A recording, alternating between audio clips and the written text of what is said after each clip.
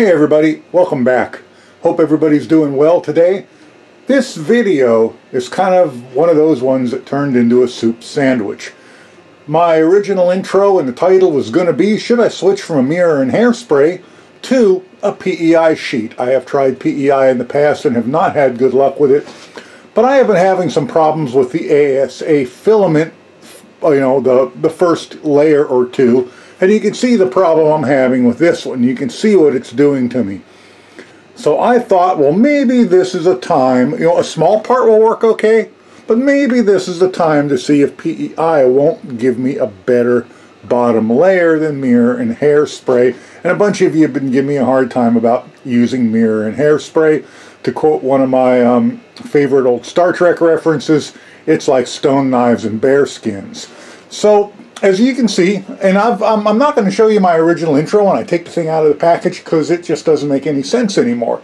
So as you can see, this is a Creality brand spring steel sheet with a PEI layer on it, and it has the magnet base. So, and you can see I've actually done quite a bit of printing on it and work with it, and you can see I've actually got a, a um, PLA part on it, which seems to be adhered pretty well. But I didn't put it on this printer at first. That's the Geeetech A10M. I didn't put it on that printer at first.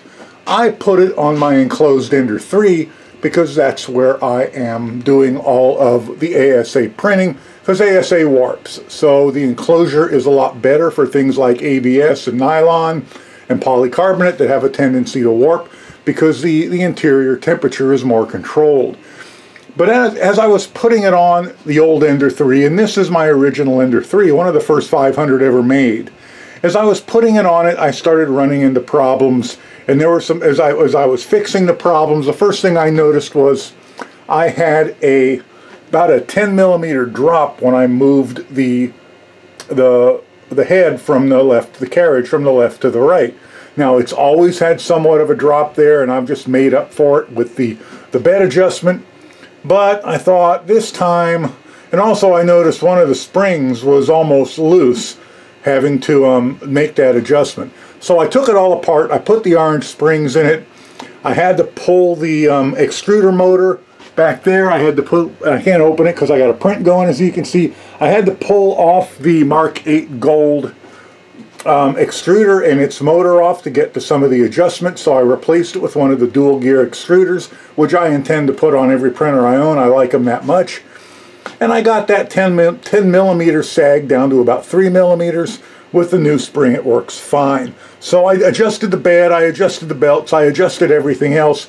I moved the z-axis stop switch the limit switch so that I would have the different because the mirror is thicker than the, um, the magnet and the steel spring plate.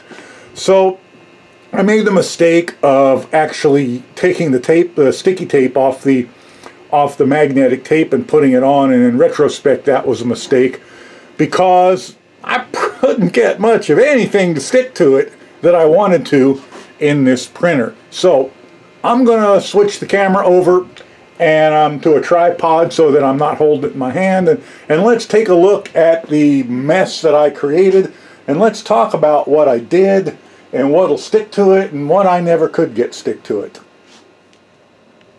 Okay, so first off, let's talk about why I'm trashing all of that video that I had made before. I had an intro and I probably got I, even after I weed out all the bloopers where my dog was barking or the mailman or the phone went on or that kind of stuff, I've probably got 30, 40 video clips. It's a daunting task. It really is. And most of it, considering all the changes I made and the backs and the forths I went, most of it's worthless. So um, that's one reason. The second reason is, how many sped up videos do you guys want to see of spaghetti being printed? I mean, really, I could show you one or two, but the rest of them, you're probably going to switch the channel, switch out to a different channel if you haven't already.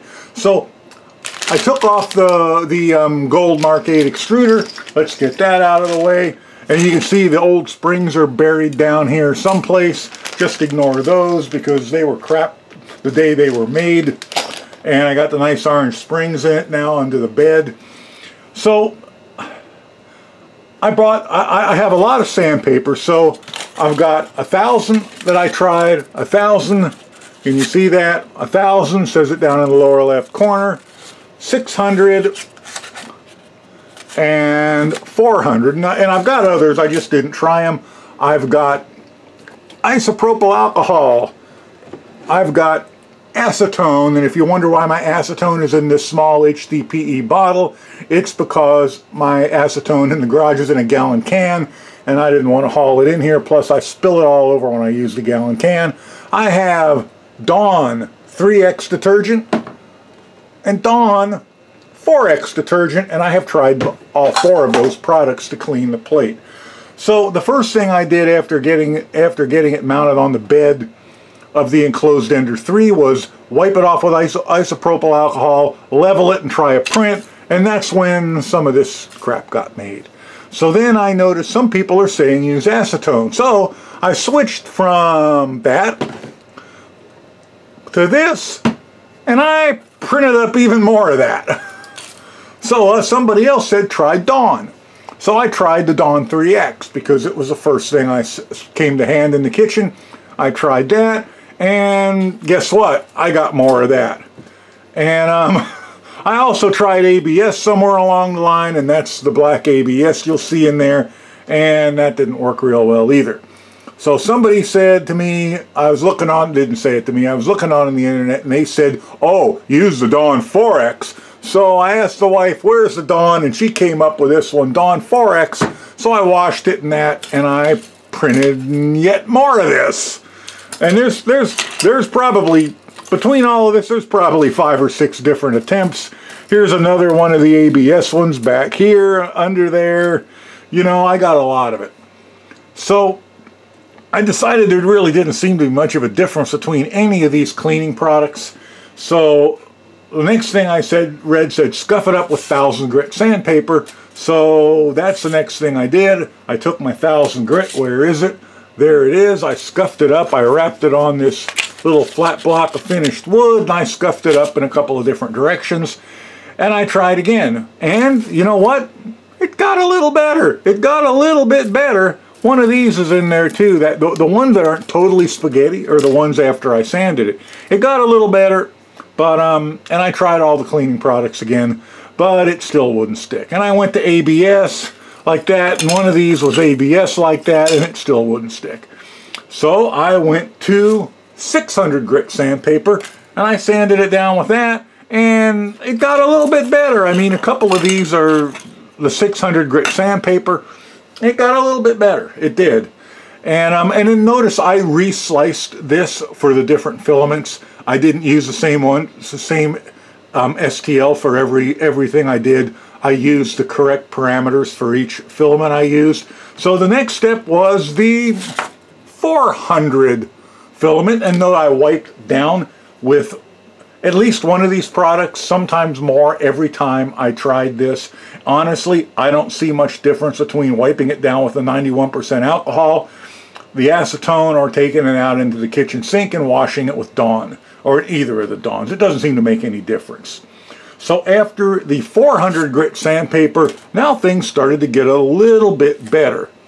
I got actually got this far in the ASA before it warped and came loose from the bed and I may and I think I stopped that one before it actually got very far and I actually got a completed black ABS and you can see it did not come loose from the bed.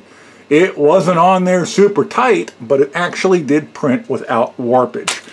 I also, at this point in time, tried nylon, and it warped right off the bat, came loose from it.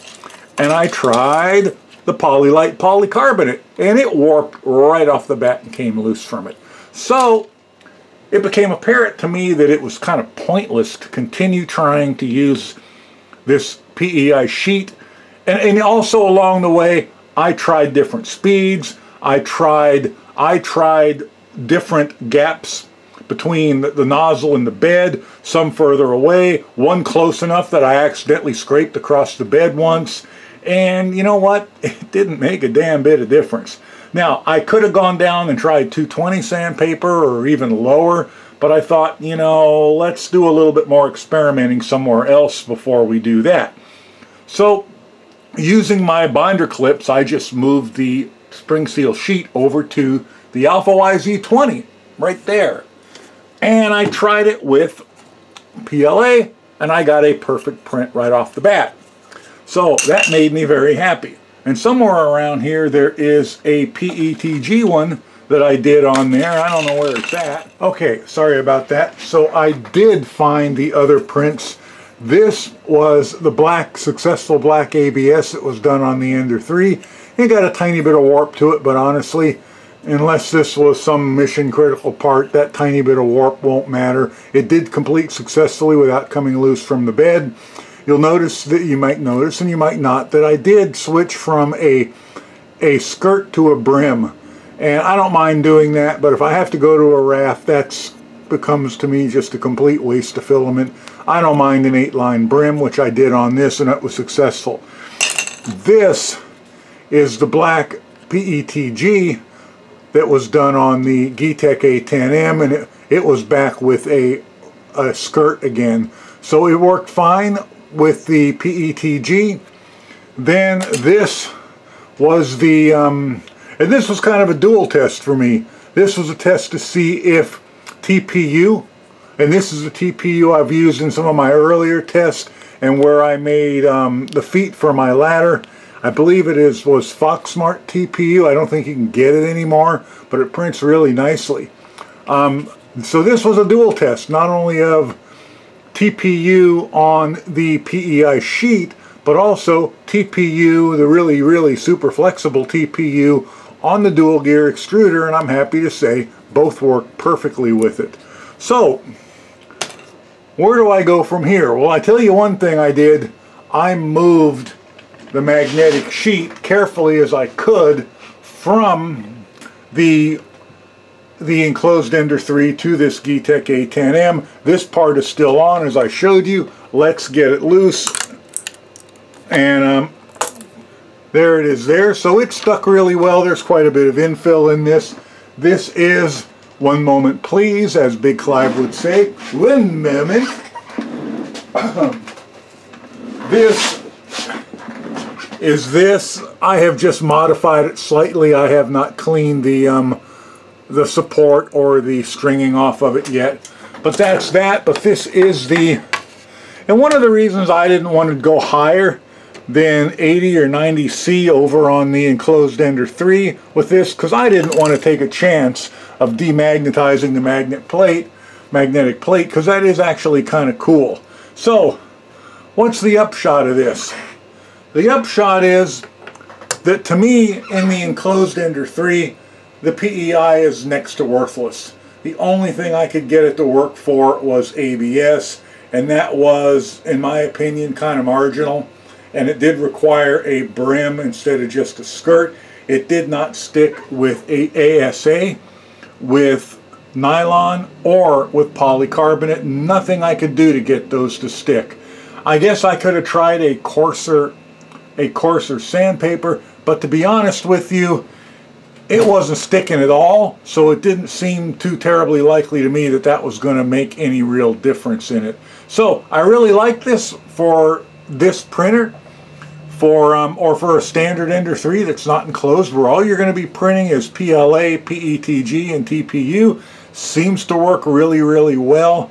It is in my opinion a bit on the pricey side. I think I paid about 28 30 bucks for the magnet and the um, and the steel sheet but you know what for convenience it is nice even though I really never had much trouble with the um, mirror and hairspray at least it's not breakable. Anyway, so I hope you guys enjoyed this video. If you did, please like and subscribe. I will put an affiliate link below to the things I've discussed. And um, yeah, catch you guys the next time. Hope you have a great day. Bye for now.